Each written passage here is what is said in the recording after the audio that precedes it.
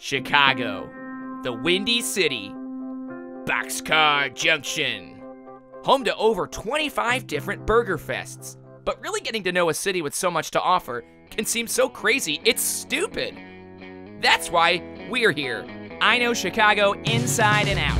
I'm here for conferences at least twice a year. So if you want to know the best kept secrets inside Chicago, come with me as we go inside Chicago. Hi, welcome to another Inside Chicago, the Insider's Look. I'm Adam Joskowicz.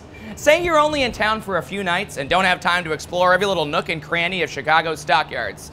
Well, you can still hit all of Chicago's high points with our guide to Chicago's can't miss landmarks. Let's get the heck out of here and go find them.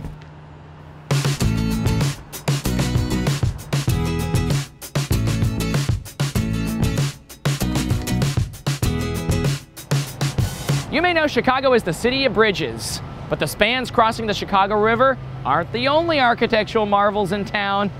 Come on.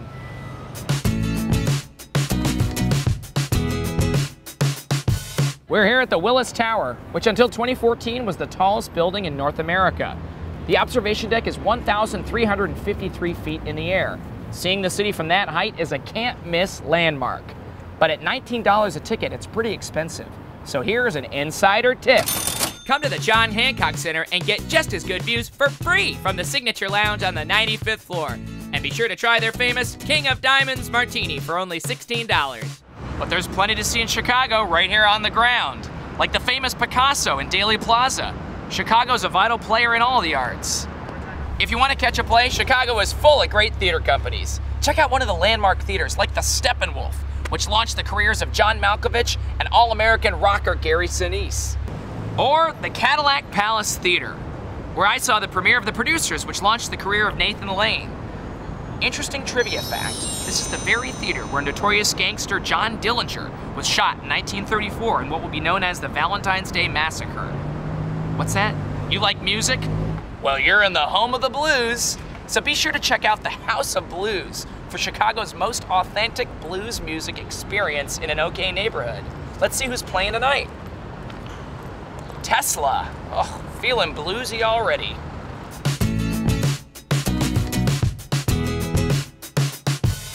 Did you know that Chicago has some of the world's greatest museums? They're all here on Museum Campus.